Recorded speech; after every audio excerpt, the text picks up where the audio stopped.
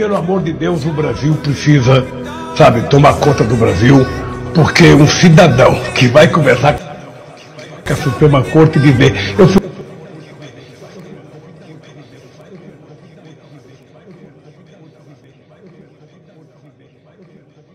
acreditar que o Bolsonaro marcou uma reunião com o Fux para ir rezar o Pai Nosso.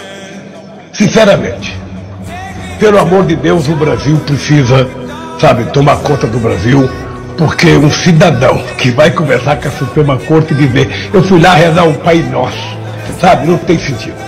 Então o povo não suporta mais isso, o povo quer efetivamente alguém que governe esse país, pensando no povo brasileiro.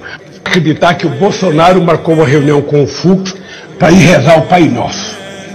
Sinceramente, pelo amor de Deus, o Brasil precisa, sabe, tomar conta do Brasil.